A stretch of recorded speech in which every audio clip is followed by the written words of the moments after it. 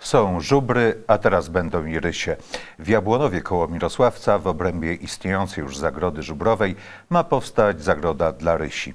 Zachodniopomorskie Towarzystwo Przyrodnicze już przystąpiło do realizacji projektu. Zwierzęta miałyby się tam pojawić już w czerwcu tego roku. Chcielibyśmy wybudować zagrodę rysiową na terenie istniejącej zagrody w Jabłonowie. E, Sprowadzilibyśmy do pięciu zwierząt, które e, żyłyby na terenie e, kotnika i wybiegu. Rysi będziemy sprowadzać z zagrodów zoologicznych z terenu kraju.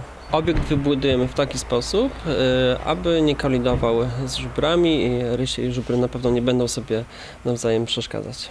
Szacowany koszt budowy to 15 tysięcy złotych. Projekt można wesprzeć poprzez portal Polak Potrafi. Rysie w Jabłonowie powinny pojawić się w czerwcu.